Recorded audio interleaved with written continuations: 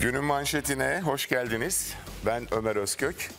Gündemde öne çıkan gelişmelerle Akşam Gazetesi yazarı Hikmet Genç'le ekranlarınızda ve radyolarınızdayız. Evet, Hikmet abi merhabalar. merhabalar, hayırlı günler.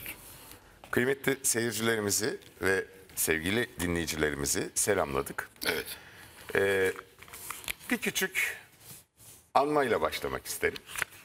tabii. Bugün Ne? 24 Ocak. Aa, evet. Aa, Ee, doğru. 24 televizyonunun kuruluşunun 17. seneyi devriyesi. Evet, iyi ki doğduk.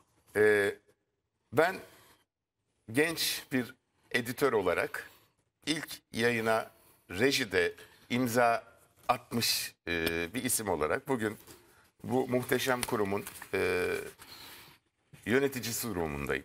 Ee, Duygularımı tarif etmem çok da mümkün değil. Yok, Ee, tamam da genç falan filan diyorsun yani 17 sene evvel. e, Sen en azından bir 40 vardın herhalde.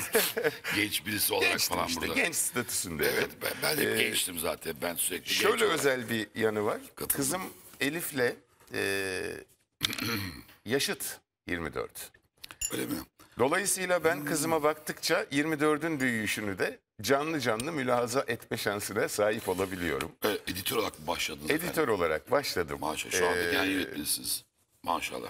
çok özel bir yeri var benim hayatımda. Mutlaka pek çok çalışma arkadaşımız e, bu stüdyolardan, Evet. bu rejiden, bu haber merkezinden geldi geçti.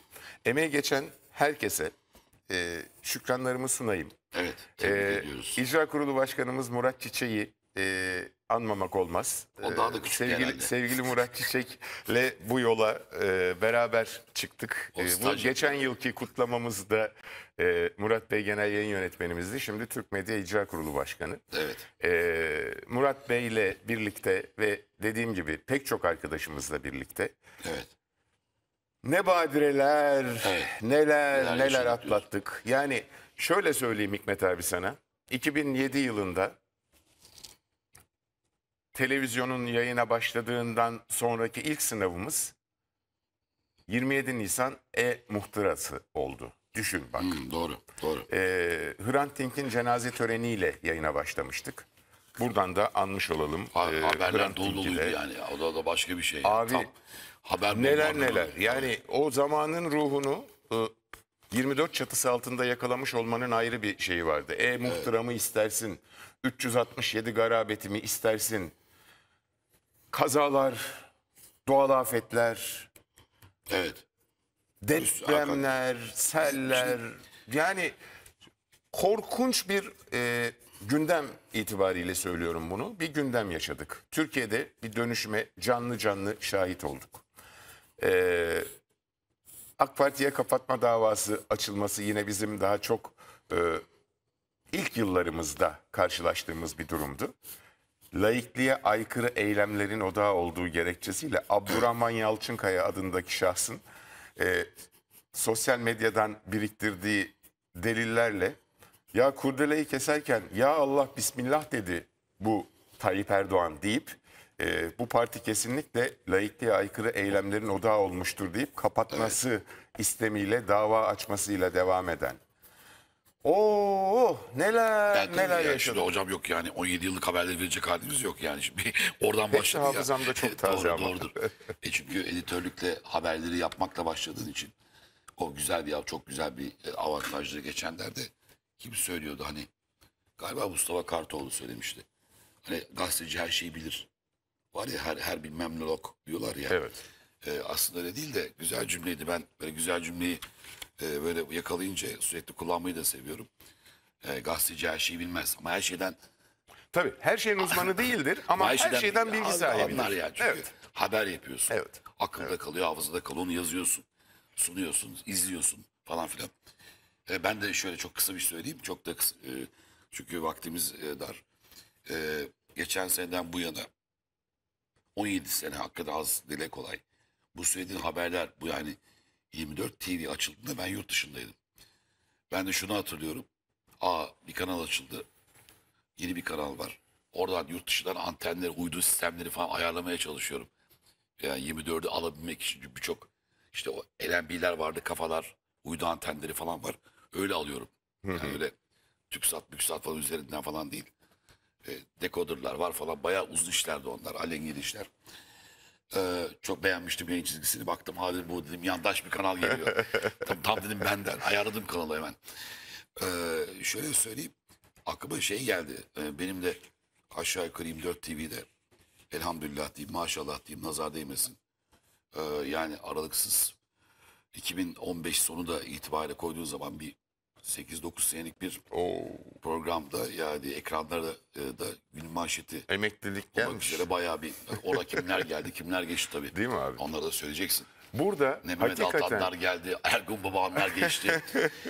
Ee, şu anda burada yok ama ne moderatörlerimiz vardı, vardı şimdi başka kanallarda. Doğru. Az adam yetiştirmemişsiniz hocam. abi hakikaten biraz okul vazifesi gördük. Bazı Dedim ya, öğrenmiş, bazı öğrenememiş yalnız. Dedim ya Nasıl söyleyelim? yüzlerce yüzlerce arkadaşımızla hem bu logonun altındaki Evet. yayına emek verdik, imza attık. Hem de sektörde e, bir okul vazifesi gördük. Ya tabii, o çok 24 kıymetli bir televizyonu e, Türkiye'nin 3. haber kanalı olarak kurulmuştu. Evet. E, sonrasında pek çok e, haber kanalı hayata geçti. E, her biri bu memleketin hayrına hizmet edenlerin her birini buradan bir kere daha selamlayalım. E, ve bu 17 yıl içinde bu televizyonun yayınını sürdürmesinde emeği geçen herkese A'dan Z'ye bir kere daha teşekkür, etmiş Teşekkür olalım. ediyoruz, evet. Ondan sonra da Doğru. gündemimize Şeyde e, her defasında ya Hikmet abi o cümleyi kuruyorsun. Her defasında bulamıyoruz orada burada değil. Bir daha söyleyeyim. Dedin ya neler geldi. Dep şey gördük, depremler gördük işte efendim iyi muhtıralar, e, sokak Darbe gösterileri, darbe girişimleri falan filan diye. E, o yüzden öyle bitireyim. Hay çok talep üzerine söylüyorum bunu. Ne diyor? E, anonim mi bilemiyorum kimi söylüyor bunda. Neler geldi, neler geçti felekten. Un elerken deve geçti elekten demiş. Neler gördük değil mi? O çok güzel bir metafor. Un elerken deve geçti elekten. Evet. evet. Ee, bunları gördük. İnşallah nice yıllara sağlıklı, saatli, huzurlu bir şekilde tüm personelimize, tüm İnşallah. 24 ailesine, tüm Türk medya ailesine. İnşallah. Bazıları yok aramızda, bazıları gitti işte. E, Habertürk'e gönderdiklerimiz, başka yere gönder söylemeyeyim hocam bunları daha. Ona yetiştirip gönderdiklerimiz. Şimdi bize sallayanlar da dahil olmak üzere. Hepsine selam olsun buradan. Eyvallah. Ve artık gündemimize geçelim şimdi. Evet. Özelimizi konuştuk. Evet. Şimdi genel gündeme geçelim. Akşam NATO. gazetesi Evet. manşetten Türkiye'den İsveç'in Nat İsveç'e NATO vizesi. Evet. Dün Türkiye Büyük Millet Meclisi'nde 346 milletvekilinin katıldığı bir oylamayla İsveç'in NATO üyeliği kabul edildi. Evet. Ee, 55 red ve 4 çekimser oyla e, bu Evet. süreçte sürecin işlediğine ilişkin haberi Tabii. aktarmış olalım. Şimdi bu e, şöyle bir e, noktaya da dikkat çekmek lazım. O da şu. E, Finlandiya biliyorsun geçen sene galiba Şubat Mart bir unuttum. E, Doğru. e, kabul edildi. Onlar bayağı bir e, ilerleme kaydettiler. Bize verdikleri sözde üçlü protokol vardı. Finlandiya çıktı. ikili protokol haline geldi. Türkiye, İsveç e, karşı karşıya kaldı ve Türkiye'nin bir takım talepleri oldu. Yani dediğim gibi detayları zaten e, gazetelerde her tarafta okuyacaksınız işte nasıl oldu süreç falan filan diye. Biz burada halka briefing vermiyoruz sadece bir yorum yapıyoruz. O da şöyle yorumluyorum. E, anayasayı değiştirdiler. Terörle mücadele konusunda Türkiye'nin hassasiyetleri noktasında mesela Finlandiya 2023 dediğim gibi sene başındaydı tam sayı hatırlamıyorum. E, bütün bu şeyleri yerine getirdi. Yasaları değiştirdiler ve oldu. Sıra İsveç'teydi. İsveç e, konusunda belki senle dün de konuştuk. E, çok böyle tedirgin bir şekilde ben yaklaştım olaya. Ama bu nedir? Ne diyoruz biz? İnandığımızı söylüyoruz. O yüzden inandırıcıyız. Halkın iradesi meclistir. Meclise tecelli etmiştir. Eyvallah. Elektronik oy, oylama Aynen öyle. kabul et. Sayın Erdoğan da bunu söylemişti zaten. E, biz şimdi topu attık. F-16 meselesi bir pazarlık meselesi. Topu attık. Dedik ki arkadaş tamam. Bir protokolleri hepsini yerine getirdik. Meclisten şu anda geçti. Tabii yalnız unutmayalım ki bir imza daha kaldı. Bitmedi iş. Doğru. O da Sayın Cumhurbaşkanı'nın imzası. Sonrasında resmi Ondan gazetede sonra resmi gazeteye yayınlanacak. Orayı bekleyeceğiz. O sürecine bakacağız. Bu arada e, dediğim gibi topu onlara gönderdik. Bu al günün ver günün meselesi. Ama şu parantezi açarak kapatacağım. Şu parantezi açmam lazım. Diyeceğiz ki şimdi NATO üyesi olarak Türkiye Macaristan'da bizi bekledi. Neydi? Macar Türkmen Bey. Orban. Orban. Orban. Orban. Orban dedi ki o da oyaladı. Dedi ki abi Türkiye abi ne yapacaksa ben de abiye uyacağım dedi. Çok kabaca anlatıyorum ama böyle ama. Doğru. Bir oyaladı geldi bizi bekledi. Ee, muhtemelen çıkacak diye düşünüyorum Macaristan'dan da. Şartları okey dedikten sonra biz dedik yani bizim için sorun yok ama terörle mücadele meselesi bizim en kırmızı çizgimiz diye. Doğru. F-16 meselesi masaya geldi. O parantezi devam edeyim. O da şu. NATO ne diyor? Diyor ki hatta Flake dün gece yarısı bir e, teşekkür yazısı gönderdi. Dedi ki artık NATO'nun sarsılmaz, e, Amerika'nın e, işte e, müthiş müttefiki sallıyorum işte sarsılmaz güvenilirlik bilmem ne. İngilizceden tercüme olduğu için şey yapamıyorum. Falan filan filan bir sürü devam etti. E, böylece NATO daha da güçlenmiştir falan dedi. Ne alakası varsa İsveç'in oradaki bilmem ne kadar. Baltık'ta zaten Finlandiya ve Nor- Norveç zaten Norveç 49'dan beri üye. Üye. Orada zaten bir şey vardı. Tamam okey yedik okey. E, 8-10 milyonluk bir ülke zaten sonuçta. Ama iyi bir teknolojisi var. E, ya NATO daha da güçlendi. Böylece birliğimiz daha da güçlendi. Türkiye'nin bunu çok güzel cümleler bunlar. NATO müttefikimiz ve güvenlik diyorsun değil mi? Şunu unutmayalım ki şu gerçeği söyleyelim Sayın Flake'e ve Biden'a. Ee, Türkiye neydi madde, vardı meşhur. Hani çocukken öğrenmiştik o maddeyi neydi? Bir tane üyeye saldırı hani bir şey D'Artagnan. Eğer bir üyeye saldırırsan tüm üyelere saldırılmış gibi olur. Tüm üyeler o ittifak oydu. Hep beraber onu koruruz muhabbet. Şimdi bize saldırdılar. Nereden? Irak'ın kuzeyinden, Suriye'nin kuzeyinden füze attılar.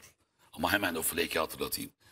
O füze atılmadan, o füzeler başlamadan önce ve Türkiye'de o çukur eylemleri e, o döneminde en son bize gelen patriotlar, İspanya'dan gelen patriotları çektiler.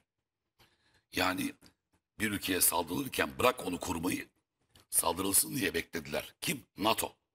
Bunu da biliyoruz. Bunu da biliyoruz. Not ettik. Efendim, bunu da not, Not ettik. O yüzden dışarıdan böyle diplomasi al gülüm ver gülümdür. Ama kavgamız emperyalistlerle devam etmektedir. Biz kuralına göre oynuyoruz masanın üzerinde. Kağıtlar dağıtılır kuralına göre tak oynuyoruz. Res çekeceğimiz vakti de biliyoruz. Ama elimizi güçlendirecek vakitleri de biliyoruz değil mi hocam? Bu iş böyle. Ben çok müsterihim. Müsterih olmamdaki gaye de bu Bakacağız ülkenin âli menfaatlerini savunan bir yapının devleti yönettiğine olan inancımdan mütevellit. Dolayısıyla bu ülkenin âli menfaatleri Kesinlikle. neyi gerektiriyorsa, diplomaside ve uluslararası ilişkilerde duygusallığın olmadığını, menfaatlerin olduğunu biliyoruz. Evet. Bu diplomasinin ABC'si. Hürriyet gazetesi bugün söz konusu habere ilişkin çifte düğüm çözülüyor diye bir e, başlıkla e, okuyucularına duyurmuş. Senin az önce bahsettiğin gibi abi meseleyi F-16 meselesiyle analiz tabii. etmişler. Bu pazarlık konusu. Amerika Birleşik Devletleri diyor e, Yunus Paksoy imzalı haberde. Amerika Birleşik Devletleri hep ilk adımı Türkiye'den bekledi. Türkiye Büyük Millet Meclisi dün gece 287 kabul 55 red 4 çekimsel oyla İsveç'e evet demesiyle top Amerika Birleşik Devletleri'ne geçti. öyle mi? Bak top. Artık ABD Dışişleri'nin F-16'larla ilgili kongreye bildirimde bulunma sırası geldi. Türkiye karşıtı senatör vardı hatırlarsın abi Bob Menendez. Onun da yol- yolsuzluk suçlamalarıyla istifa ettiğini atıf yapıyor Hürriyet Gazetesi haberinde ve herhangi bir engel beklenmiyor diyor senatoda. Evet. Olası engelleri de Biden'ın aşma yetkisi var diyor. Şunu da hatırlatayım yalnız. Bob Menendez ila nihaya istifa etmedi biliyor musun abi? Bir süreliğine soruşturma Doğru. devam ederken. Askıya aldılar adamı. Yani sanki Tekrar almak istediğini alacağın doğru zaman bu zaman. Evet. Bir de şunu da unutmayalım. Çok da iyi bir hatırlatma yapmışsın. Güzel ama şu da e, son not. E, Türkiye'nin F-16 modernize edilmiş yeni versiyonu. F-16'ların yeni versiyonunu almak istiyoruz değil mi? Doğru 40 tane. Evet. Bu aslında belki eski dönemlerde olsa çok daha rahat verirlerdi. Problem değil. Çünkü Türkiye onlar yönetiyordu ya. Ağır geliyor değil mi? Türkiye onlar yönetiyordu. İstediği zaman darbe yaptırıyordu falan filan. Muhtıraç, za- iyi hali, kanlı muhtıra, kansız muhtıra yapıyorlardı. Şu anda vermemelerinin başka bir sebebi daha var. Bunu da sığ açıklamıyorum yani. Onlar da biliyor, biz de biliyoruz. Ama ben bu gazeteci olarak anlatayım size. Çok basit. Modernize edilmiş en son versiyonu F-16'nın F-16 kendi dünyada ispatlamış bir savaş uçağıdır. Doğru. Ama Ruslardan ne kadar daha iyidir hala bilmiyorum. Neden? Her zaman söylerim.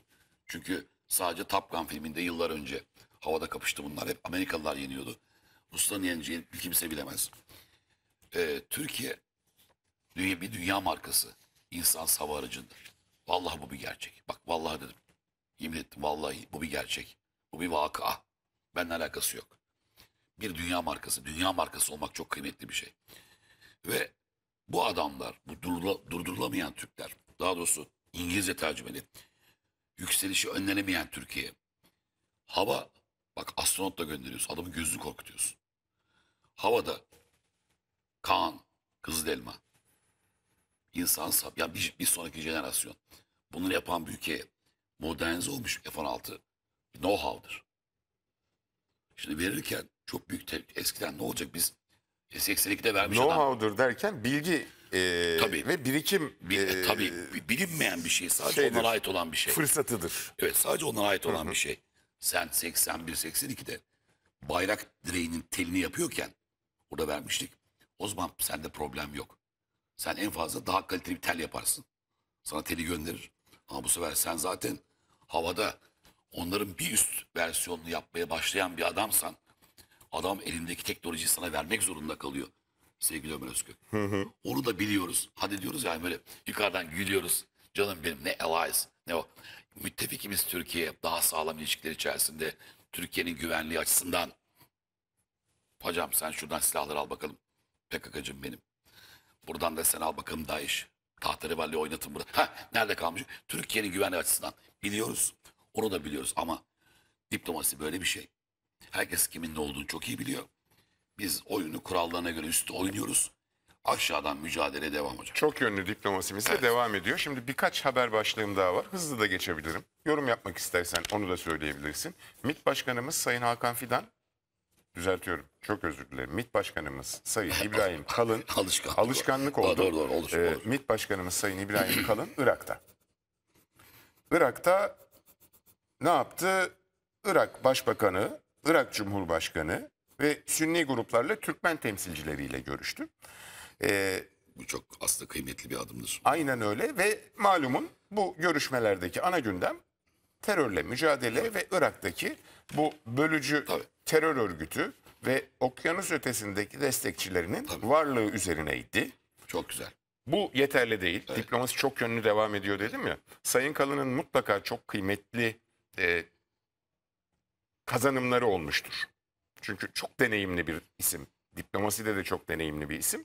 E, onu koydum kenara. Evet, ABD'nin oradaki tasarladığı tezgahları oyunların karşısında Bozuyoruz. oyun koymaya, oyun kurmaya gitmiş ya bu kadar net söyleyeyim. Hadi. Peki onu onu da Deşifre ettik bitiren bir şeydi. hay Allah. Hay Ee, Allah. Devam Evet, edelim. doğru. Dışişleri Bakanımız Hakan Fidan da Birleşmiş Milletler'deki Filistin oturumuna katıldı. Evet o da çok Ee, orada konuştu. Önemli mesajlar verdi. Yani Gazze'nin bir açık hava hapishanesine dönüşüyor olmasına, dünyanın sessiz kalmasına yönelik ciddi eleştirileri vardı.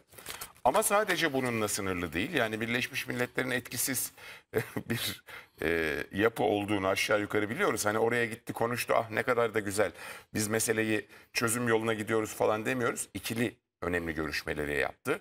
Ne yaptı mesela? Sergey Lavrov'la bir araya geldi. Hı, tamam.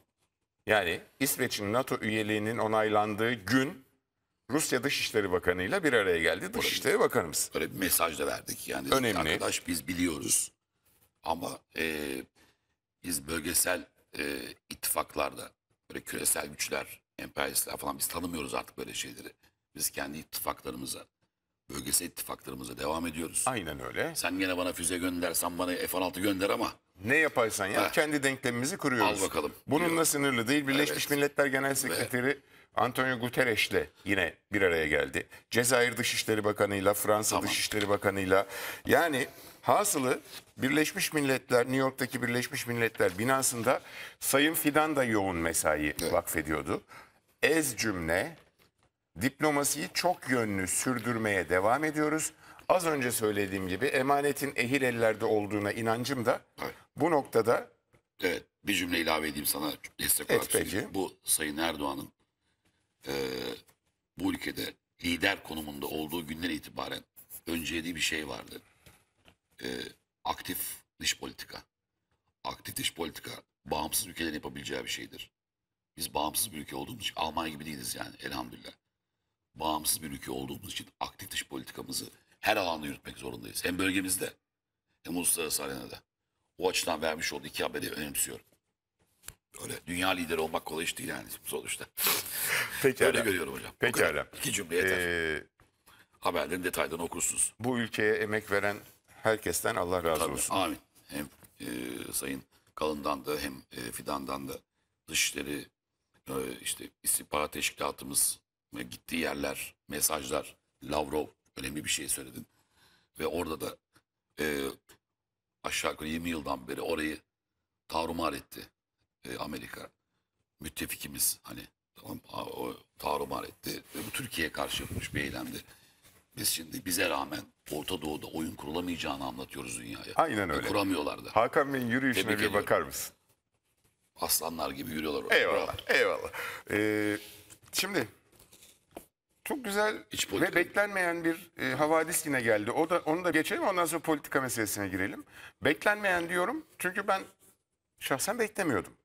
Gerçi Sayın Cumhurbaşkanı'nın 2024 emekliler yılı olacak ifadesinden anlamam evet, lazımdı. Evet. Ama e, dün e, Çalışma ve Sosyal Güvenlik Bakanı Sayın Vedat Işıkhan bir müjdeyle kamuoyunu buluşturdu. Evet.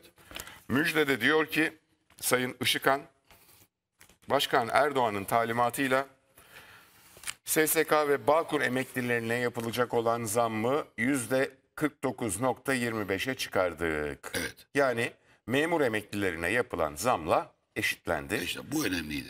Yani Hayırlı, Hayırlı uğurlu olsun, evet. olsun. Ee, yeter mi? Yet- Hayır yetmez. Ya, Emekli için e, bu ülkeye emek vermiş, e, mesai vakfetmiş insanlar için ne yapılsa az.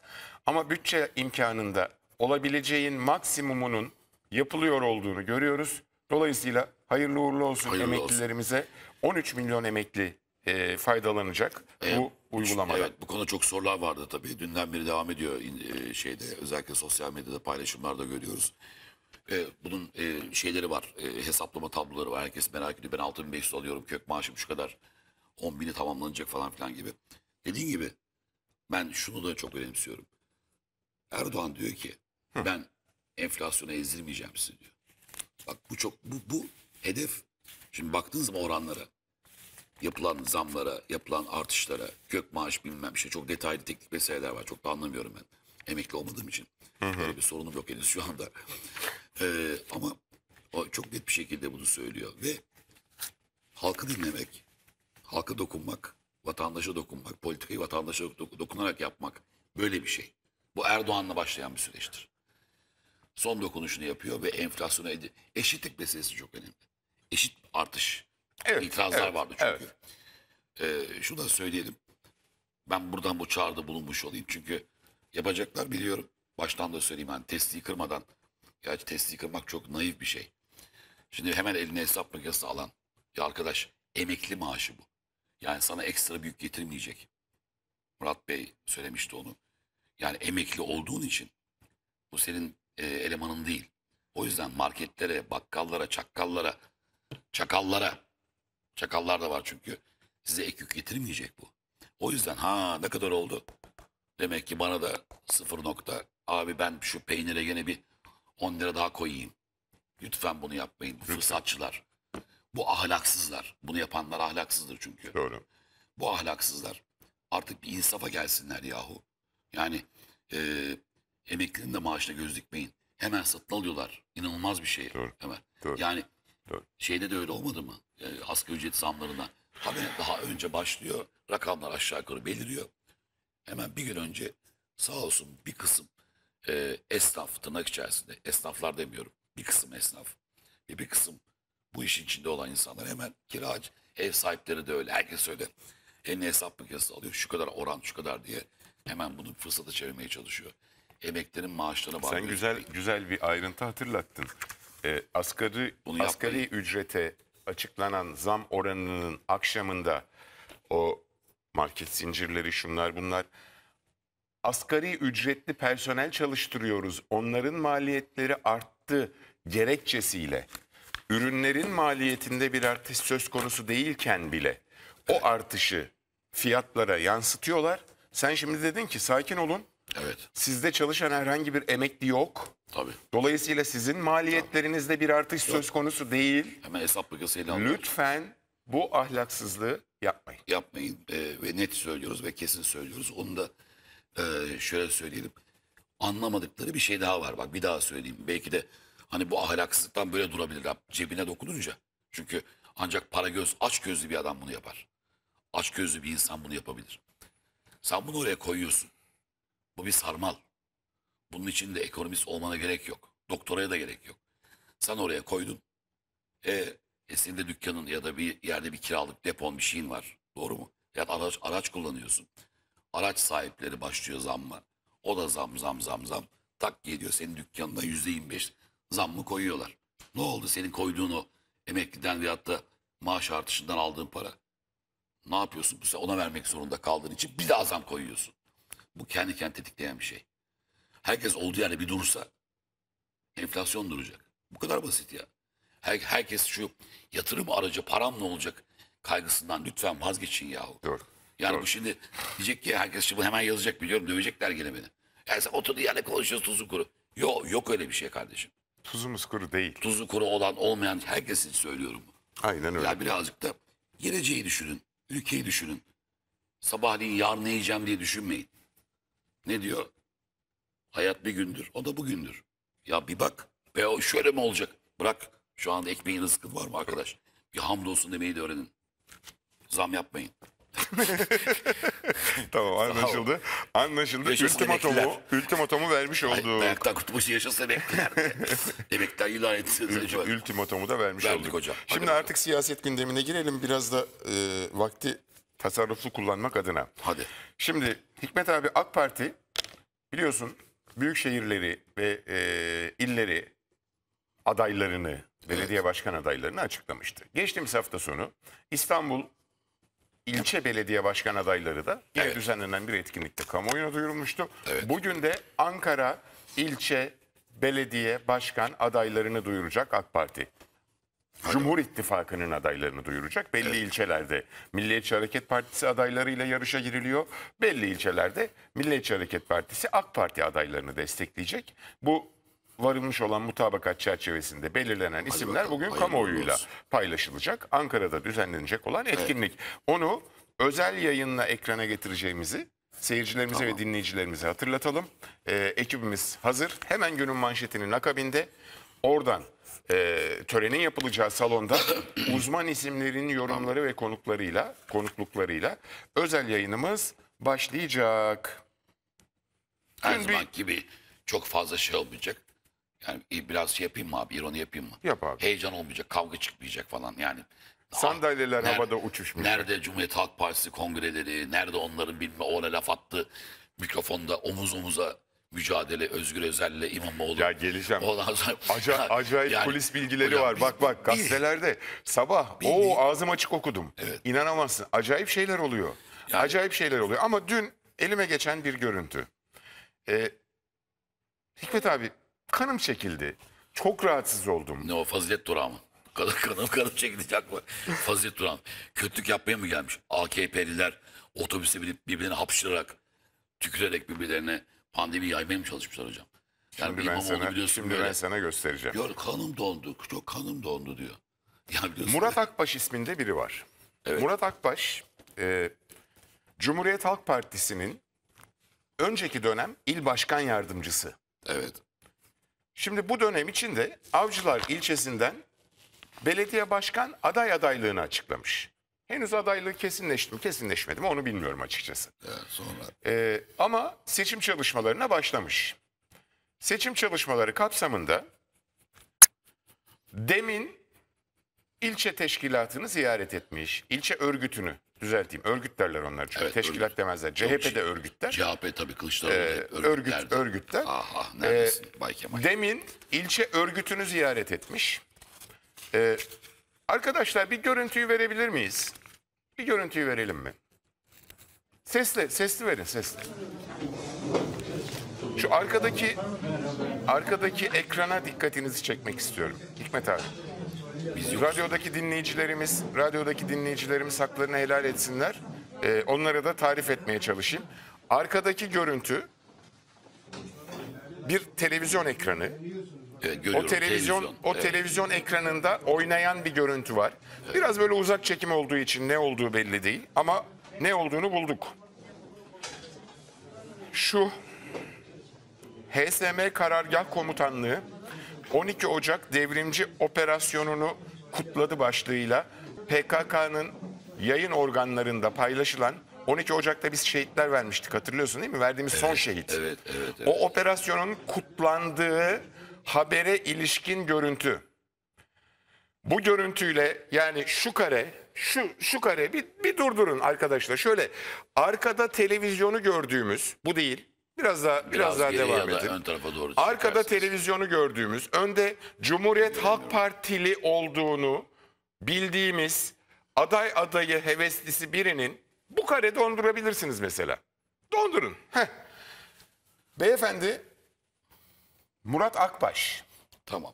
Oraya gel. Burası DEM ilçe teşkilatı. Tamam anladık. Arkadaki televizyonda oynayan görüntü de 12 Ocak'taki terör saldırısında şehitler vermiştik. O terör saldırısının DEM'in ilçe teşkilatında kutlandığı görüntü. Evet. e, tamam normal. Gayet normal. Kanıma dokunuyor Hikmet abi. Ya Kanım bizim- çekildi ya derken bizim- bundan bahsediyorum. Tabii ki sen sen doğal senin böyle söylemen doğal çünkü ben e, sen ülkeni seven yurdum insanısın normal bir insansın yani normal herhangi bir insan ülkesinde kendi ordusu o yönelik bir saldırı olduğu zaman Mehmetçik demişiz biz ona çünkü Mehmetçik Mehmet aslında ne demek Mehmet Hazreti Muhammed sallallahu aleyhi ve sellemin ismi kullanılmasın diye küçük Muhammed demek yani Mehmetçik İsmi Tasgir diye Arapça bir kökenden gelenmiş. Uzattım bak. Peygamber Hoca. Sen bu ülkeni seversin. Her şeyiyle seversin. Türküyle, Kürdüyle, Lazıyla, Çerkeziyle, Abhazıyla. Bayılırsın ülkene. Çünkü burada doğdun. Senin köyün burada, kuyun burada. Bunlar öyle değil.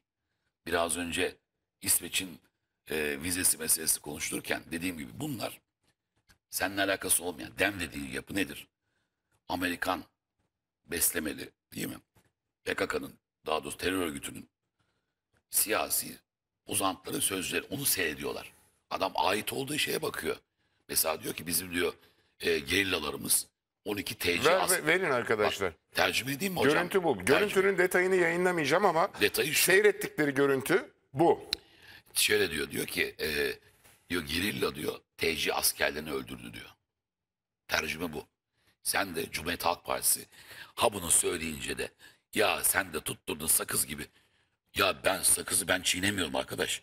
Şakkıdı şukkudu karşımda. dur. Kimsenin diyor Sabah demle erken derdi kalk. yok diyor Özgür Özel. Tabii. Benim var kardeşim. Ya bak şimdi Benim demle derdim var. Evet. Yani Adamın şehit gidiyor. Hikmet abicim şehit cenazesine gidip utanmadan, sıkılmadan şu kareyi verdikten sonra nasıl gidiyorlar? Bunun adı şey değil mi? Kurtla kuzu yiyip çobanla ağlamak değil mi? tabii t- öyle. Bu öyle. insanların aklıyla dalga geçmek değil mi? Hocam demden birisi geldiği zaman eğer yaşanmadı bu soruyorum o zaman ben sana. Madem buna bu kadar çok hassasiyet gösterdin haklı olarak.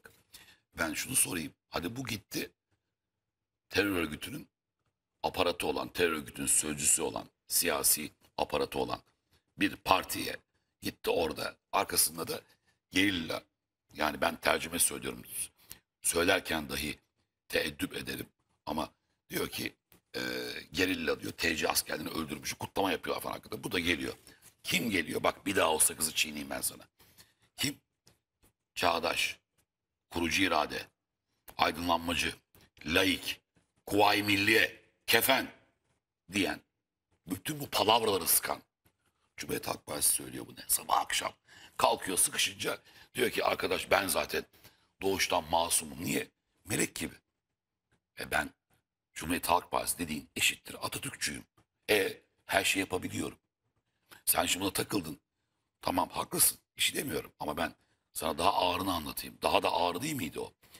Ya düşman ancak düşmana diz çökersen ve senin bayrağını parçalarsa bayrak oradan kalkar. Sen kendi binanda bu demin uzantılarını çağırıp da Türk bayrağını kaldırıp orada utanmadan e, konuşturmuş adamsın. Ya sen bu ne bu ne ki ya? Hem de orada kendi mekanında yapmışsın bunu. Sen bayrağı düşürmüşsün. Çok doğru. Bayrağı düşürmüş adam adam değildir. Değil mi? Haindir. Bayrağı düşürmüşsün orada. Efendim orada son dakikada o isim. Ya geç bunları Rudav'mış bilmem neymiş. Efendim eee PKK'nın ve terör örgütlerinin sözcüsü olan basın bültenlerine konu olan malzemedeki adamları getiriyorsun. Onların adamları çünkü bu. Ya terör şey pardon terör çalışması diyorum. E doğru aslında terör çalışması. Seçim çalışması için Cumhuriyet Doğru. Halk Partili bir aday gitmişti efendim. Doğru. PKK'nın yayın organı olan arkada. bayraksız bayraksız E, görüntüyü reji hemen ayarladı. Verin kabul- verin. Verin. Sen bunu yutmuşsun, yalamışsın, verin. yutmuşsun. Hafızayı beşer nisyan ile malul hatırlayın. Hatırlayın. Tabii. Ya bunu yalayıp yutmuşsun. Bayrağı düşürmüşsün. Arkasından çıkmışsın sen bana. Ee, milletin derdi dem değil dem diyor. Ya milletin tam derdi dem ya. Milletin en büyük derdi ya. Şimdi on o binlerce, noktada- on binlerce insanımızı katleden, onca şehit ver, verdiğimiz bu mücadele içerisinde sen yokmuş gibi. Hani kendine yakın. Yani geçin bunları. Şimdi kanaat önderleri ve politika belirleyicilerinden biri olmaya soyunan çünkü Yakışır ekip ekip acemi bir ekip. Ee, o yüzden daha profesyonelleri onlara yol gösteriyor. Şirin Payz'ın mesela ekrandan can siperhane değil mi? Adayları Ee, o belirliyor zaten, Tabii biliyorsun. tabii. Neydi Kübra Par mıydı o siyaset dizayn ediyoruz? Altına basıyı tabii tabii biz böyle siyaset dizayn Tabii, ediyoruz dizayn deme cüretinde diyor, bulunan, tabii. haddinde Artık bulunan. etmiyor ama. Masa kalmadı ya. Hepsi Neyse. İkili. Neyse şimdi o siyaset dizaynına soyunan isimlerden biri de Nevşin Mengü. Milletin derdi dem değil zam diyor ya Özgür Özel Tabii. diyor Nevşin Mengü. Çok isabetli ve doğru gidiyorsun. Bu mesajdan yürü diyor. Sürekli buradan devam et diyor. Hani bunların bir kanaat önderi vardı ya Sedef Kabaş. Yalancı. Hani elleri arkadan kelepçeli, ters kelepçeli olmadığı halde öyle bir görüntü verebilmek Nasıl için yapmıştı yalancılık yapıp ellerini arkadan bağlamak sureti. Ama neydi onun yani. neydi onun kamuoyuna yansıyan kısmı? Göbels taktiği. Neydi Göbels taktiği abi? Yalanı Çok büyük bir yalan söyleyeceksin. Sonra bu yalana herkesin inanmasını bekleyeceksin falan filan. Bizim bilmediğimiz şeyler de Nevşin Mengü de aynısını söylüyor. Bak diyor Mayıs seçimlerinden önce diyor 128 milyar meselesini sürekli tekrar etseydiniz diyor. Durum daha farklı olurdu diyor. 128 milyar meselesini aptala anlatır gibi Merkez Bankası'nın yönetimi de anlattı. Onların- Dedi ki ortada kayıp kaçak söz konusu değil. Hatta günümüz teknolojinde ha hoş Alper Gezer Avcı'nın o mekipteki görüntüsüne fake diyen zihniyetin canım, evet. buna da inanmasına çok evet, şaşırmamak evet. lazım da. Ee, şeyin. Nevşin Mengü'nün ısrarla devam edin. Halkın derdi dem değil zam söylemdeki tavsiyesi, akıl hocalığı herhalde bir karşılık bulur diye düşünüyorum. Nevşin Mengü'de En buna- azından Özgür Özel'den tecrübeli. Ya ben de şimdi bak ben de yardımcı olayım size. Bak bu yanlış yapıyorsunuz. Kaç yıllık gazetecisin ya da işte bilmem bu işleri biliyorsun hesapla. Yanlış. Şöyle yanlış. Bizim anlattığımız gibi değil. Kendi açından bak yine yanlış. Sen sürekli demi ortaya koyacaksın öyle mi? Milletin derdi dem değil bilmem ne. Bu sana bu hangi algıyı yönetmiş olacaksın bu şekilde? Aptallık, ahmaklık Nevşin. Kusura bakma yani Nevşin. Yanlış yere itiyorsun CHP'yi. Yanlış yere iteliyorsun. Bunu sürekli gündemde tutmanın avantajı mı olur CHP için? Dezavantajı mı olur? Sen bana her gündem diyeceksin. Ee, zaman zaman öyle bir yere geliyor ki daha önce HDP'de yaşadılar. Yani demin eski versiyonu. Şunu yaşadılar. HDP'nin gündeme gelmesi Cumhuriyet Halk Partisi'nin tüm kimyasını bozuyordu. Aslında onların bozmuyor. Onun kimyası uygun. Ha, Onlar çok güzel etkileşime girmişler. Fokur fokur arada kaynıyorlardı. Tabanın e, Doğru, kimyasını doğru, bozuyor doğru. bunu gündeme getirmesi Cumhuriyet Halk Partisi için bir avantaj değil. Millet bak bu da söylüyorum. Bunu uzun süre e, sabahları şimdi Sözcü'de kimdi o civciv yapmıştı. Ebru Baki. Emir Baki. Bak dedim ki o zaman iki defa bir de uyardım. Bak iyilik yapıyoruz adamları. Adamlar hala anlamıyor. Dedim ki her sabah kalktığında şu anda Zeliha devam ettiriyor aynı işi. O da Zeliha diyor ki domates bu kadar peynir için ben sabah bir ekonomi programı açıyorsun. Zamlar açıyor. Yani bilmem ne para gündem falan. Zaten para konuşacaklar. Ulan bir insan gün ne konuşur ki? Ya dünden bugüne gece oldu saat bir sabah kalktı bir daha para. Neyi konuşacaksın? Bu kusura bakmayın ya öyle bizim çok da sevgili dostumuz var biliyorsun programların müdürü. Selam olsun. Ama şöyle bir gerçek var. Her sabah para gündem konuşacaksan ya parayla ilgili gündem bir şey. Domatesin fiyatı, patates bu kadar oldu. Erenköy'de bu kadardı. Peynire yüzde on beş var. Millet de dinliyordu. Ben, ben de arada bir böyle çarpıyorum o yayınlara. Yanlış bir şey dedim ki bak yanlış yapıyorsunuz. Bir insanın hayatının zorluğunu ve veyahut da ekonomik durumunu en iyi kendisi bilir. Sen bunu sürekli söyleyerek ya ben biliyorum ne kadar kay. Her sabah bunu söylediğin zaman bir şey değişmiyor. Yani sabah kalktığımda bak peynir de böyle olmuş. Hemen koşayım da bari eski kaşarın fiyatına gireyim demiyor insanlar. Ya, yanlış bir algı yönetiyorsunuz.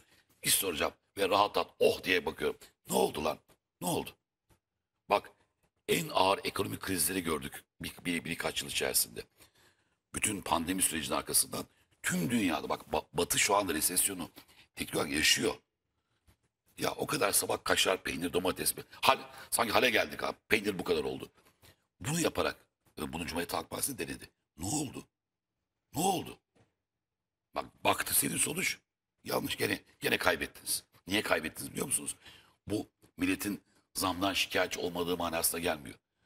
Millet tabii ki şikayet eder. Maaş ister, vatandaş ister. Ama sizin bu algı yönetmenizde bir hata vardı. Her sabah domatesin fiyatı sorulmaz. Abi bir de Patates yola çıkılmaz. Bir de- Soğana, soğanla o istenmez. Bu diyor ki şimdi her gün dem, şey dem değil dem değil deyin diyor. Ulan millet aklına sokuyorsun sürekli demi. Geri tekim bak en sonunda geldiğimiz yere bak. Ne oldu diye ki ben şu anda gösterdim. Ben de demi gösteriyorum bak. Diyorum ki bak bu dem. Bu teröristlerin siyasi uzantıları. Cumhuriyet Halk Partisi, Çağdaş, Kemalist adamlar geliyor. Abi varsa birkaç oy rica edeyim. Tercihi burada şey yapıyoruz. Abi sen bana oy ver diyor. Sen bu manzarayı mı istiyorsun görmek? Tam gösteriniz hocam. Doğru. istiyorlar demek. Tabii her sabah konuşalım. Bir de Konuşalım. yalan meselesi var ki onu e, biz düzeltmekten ve yalanlamaktan bıktık. Ama yalan sahipleri o yalanı söylemekten bıkmadı. Şimdi çok da e, ekranlarımızda yer vermediğimiz bir figür var. CHP'li. Yer vermediğimiz dediğim hani uyarsın ciddiye, ciddiye almıyoruz. O arada uyarsın mesaj atsın ona göre veririz. Ama bir şey söyleyeceğim. Ya ciddiye alınmaya, alınmaya, alınmaya, alınmaya nihayet başardı. Tamam şimdi ciddiye alalım bir dinleyelim. Gürsel Tekin'den bahsediyorum. Verin bakalım arkadaşlar. Bir dinleyin bakalım. Şu an siyaset yapıyor mu aktif olarak? ya? Murat Kurum'la ilgili kentsel dönüşüm hikayeleri diye anlatılır. Ben rica ediyorum İstanbul'da bırakın çoklu kentsel dönüşümü tek bir tane örnek göstersinler. Tek bir tane. Bugün hakikaten hem İstanbul'umuz için çok önemli, Gazi Osman Paşa'mız için çok önemli bir projenin Bu Gazi temel Osman Paşa atma bağlar. gerçekleştiriyoruz. Devam ediyoruz. Bugün hamdolsun bu alanda Kartal yeni Orta, Orhan sağlam Tepe. konutlarımızın temelini atıyoruz ve oradaki aslında hüznün yerine bugün mutluluğu görüyoruz. Çevre, Şehircilik ve İklim Değişikliği Bakanlığı İstanbul'un Kağıthane. dört bir yanında riskli yapıları dönüştürüyor. Kentsel dönüşüm çalışmalarının yürütüldüğü yerlerden biri de Kağıthane Şey, bu, Yahya Kemal Özel. Mahallesi. Burada Bak, bak, daha TOKİ bitmedi. tarafından yapımı Daha tamamlanan bitmedi. 688 konut Tey, hak tey, tey. sahiplerine teslim edildi. İstanbul'la birlikte 81 Esenler ilimizde Çevre, Şehircilik ve Bir İklim Değişikliği Bakanlığı olarak tane gösterin dedi. Hangisini severse beğenirse onu alsın.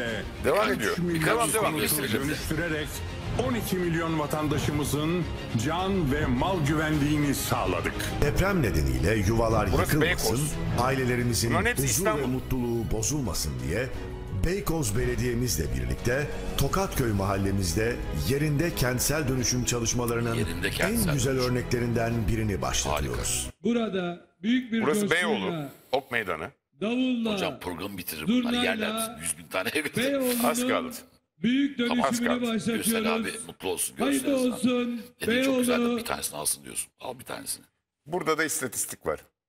Ey Gürsel Tekin. Biz şöyle ortaya koyduk. Hangisini beğenirsen onu al. Bak, ya, şimdi bak. Ya, ya e, Gülsel abi. Tamam. Alo. Yani bak daha önce çok da yaptı bunu hatırlıyorsun. Şey değil miydi bu kapalı çarşıya gitti cuma vakti. Bak dükkanlar kapalı diyen. Ali Mahir Başarır. Üçüncü köprüye gitmiş. E, hafta sonu mu ya da pandemiden dolayı sokağa çıkmak Çıkma yasağı var. Ha, sokakta insan yok bak köprü boş falan gibi. Ya Cumhuriyet Halk Partisi bu. Aslında özeti bu. Ya Gülsel Tekin'e bir şey söyleyeceğim. Sayın Gülsel Tekin, değerli Haşmet Meyap. Sen şu aynı, aynı soruyu. Niye çok sevdiğiniz, tapındınız, İstanbul'u batıran, İstanbul'u bitiren, 849 milyon lira reklam parası verip 460 milyon lira yarı yarıya de depreme bütçe ayıran, reklamı 800, depremi 400 olan İstanbul Büyükşehir Belediyesi'ni yaklaşık 10 yıl geriye götüren, düzeltilmesi için en az 5 yıla ihtiyacı olan, düzeltilmesi için sadece. Sen de biliyorsun eski belediyecidir çünkü. Kadıköy. Ben de Kadıköylüyüm. Çok iyi bilirsin. Şu soruyu da şu tatil sever, kayak kaymayı seven, tatili seven, tenis kortu yapan e, İmamoğlu'na bir sorsaydınız yahu. Seçimden önce va- vaadi vardı. Burada kayıtlı 155 milyon. Sorsaydınız yahu her yıl bu kadar istemiyoruz. Çünkü karşıda Cumhuriyet Halk Partisi var. Kapasitesine göre. Çok fazla abarttılar dedim. Her yıl 20 bin olmak üzere 5 yılda toplam 100 bin konutu dönüştüreceğim dedi. Kaç tane dönüştürdü? Sordular. TOKİ kaç tane yapmış diye cevap verdi.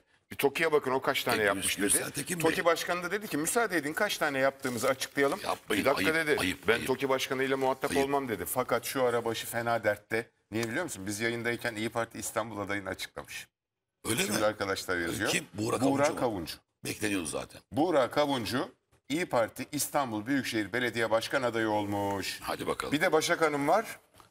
Bence Başak Hanım'ı desteklemeleri lazım. Ben bugün özellikle yazdım. Bak Başak Hanım diyor partim kabul ederse dedi. Başak Demirtaş. Arkadaş bir dakika değil. Bir dakika niye millet şuna kızıyor ki? Burada ironi falan yok. Bir saniye. Adamlar size her tür destek yaptı. O koltukta oturma, oturuyorsan eğer dedi Tabii, adam. Değil mi? Tabii tabii. Mansur'a da tabii, söyledi tabii, İmamoğlu. tabii, tabii, tabii. Bizim sayemizde dedi. De doğru. Peki bu kadar size imkan tanıdı bu HDP. Seviyorsunuz bakın televizyonda açık orada PKK, PKK bilmem ne. İyisiniz aranızda iyi. Neden olmasın? Partim izin versin diyor. Başak Demir, Demirtaş hanım diyor. Kim bu Baş- Başak Demirtaş? Zıppırt selam söylediniz. Eşi ol, eşine zıppırt selam söylüyorsunuz. Abi bak işte eşi geldi. Bence bu sefer de Başak Demirtaş aday olsun. Değil mi? Ekrem beceremedi bu işi. En azından CHP demi desteklesin. Bu eğer ittifak arıyorsanız arkadaş lütfen rica edeceğim bu ittifakı devam edin ya. Tamam. Yani bak biz diyor ya dem sizi kandırıyorlar. Böyle oraya gidip de ilçe başkanınıza hoş geldin ben selam ve aleyküm selam biz böyleyiz. Biz ayrımcılık yok falan filan. Külliyen palavradır. Ee, burada da selam olsun. Fatih Portakal'a şu hani kalbe inanan saftirik var ya saftirik adı çıkar. Ee, bunlar falan Kadıköy'de ne işim var? Maçoğlu, Komünist Başkan. Kadıköy'lü John John'dur Bağdat Caddeli. Şımarıktır, zengindir, züppedir. Senin gibi adamlar oy vermez sen. Gaza geldin galiba. Diyor. Diyor Fatih Şimdi Portakal. sonradan da- diyecekler ki şimdi Hikmet Genç Kadıköylüler John John dedi. Biz Hocam demedik Fatih ben demedim. Portakal dedi. Tabii Fatih Portakal, Kadıköy, Bağdat Caddesi, John John, John dedi. John dedi. Ben de John John ne demek diye araştırdık. Ortaya bir sonuç çıktı. ben de aşağı yukarı 50 yılımı Bağdat Caddesi'nde geçirdim ve yaşadım. John John'ların ilkokulundan mezunum. Orada itibaren düşün yani. Beyaz Türk gibi yaşadık ama okulumuz zenci. İmam Hatipliydim ama. Okul zenci. Cadde beyaz. Şimdi o John John vermez dedi. E belki Başak Demirtaş. Bence John John'lar verebilir. Verir. John John bir dakika benim ifadem değil bir daha söyleyeyim. Bir tercüme. İlk aklıma böyle bir şey gelmişti. Aristokrat bir ekip böyle. Zengin falan hakikaten doğru e, kelime manasında. Zaten tercüme bir kelime. Zengin, şımarık, züppe. Ben yaparım olur.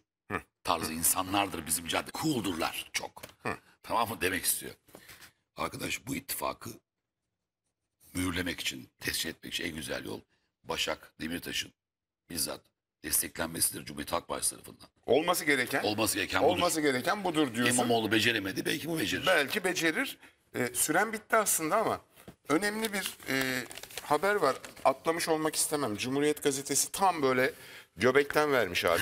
Kaçamadı bir tanesi. Kırgınlara birlik mesajı. Kemal Kılıçdaroğlu ile Özgür Özel bir araya gelmişler.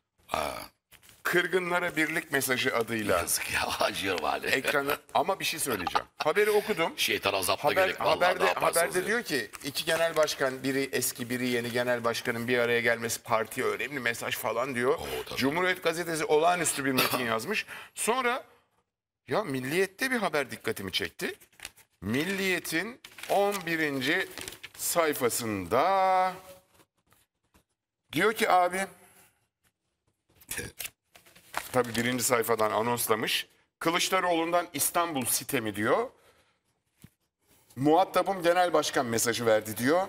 CHP'nin Halef Selef Genel Başkanı Özgür Özel Kemal Kılıçdaroğlu önceki akşam bir araya geldi. Görüşmede Özel'in Eskişehir'de yapılacak aday lansmanına Kılıçdaroğlu'nu davet ettiği, Kılıçdaroğlu'nun da programım uygun olursa gelirim dediği söyleniyor. Edinilen bilgiye göre Kılıçdaroğlu Özel'e bütün illere milletvekili gönderip aday belirleme sürecinde o illerle ilgili milletvekillerini, parti meclisi üyelerini sürece dahil ederken niye bir tek İstanbul'a milletvekilleri göndermiyorsun diye sordu. Özel'in ise yorum yapmadığı öğrenildi. Partili kaynaklar görüşmeye ilişkin Kılıçdaroğlu İmamoğlu'nun görüşme talebini kabul etmedi ve lansmana davet etmesine rağmen gitmedi. Benim muhatabım genel başkan dedi diyorlar. E, Evet. partinin zaten eş genel başkanıydı ya. Kılıçdaroğlu da çok alıngan davranmış Şey, orada. bak şöyle ben bir cümle alayım cümle- yorumumu hemen, hemen bitiyor. Ee, şimdi ben Sayın Özgür Özel'e e, tabii bir elimin elini sırtına vurmak suretiyle alnımı güçlendirici bir hareket yapmak isterdim. Biliyorsun kü- küfür hakaret değil o. Değil, Elimizi elin sırtına vurmak şöyle suretiyle alnımı güçlendireyim. Özgür Bey, Özgür Özel Bey. Bak ne kadar kibar söylüyorum. Ee, Tunceli'ye gitti.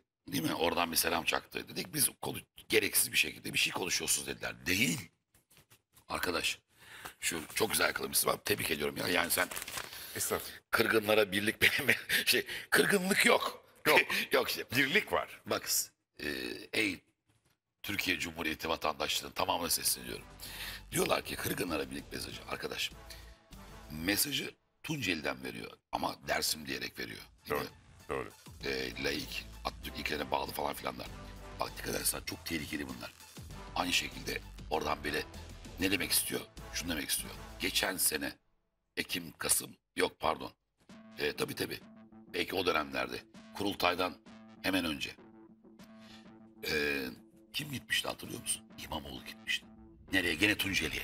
Aradım sizi ulaşamadım. Ha, Ev telefonundan hatırladım. aradım efendim diye Baba, de baba. kameralara orada bir hay aklında bin yaşa. Bak bitti zaten biliyorum. Süremiz çok Süre çok açtık. bitti.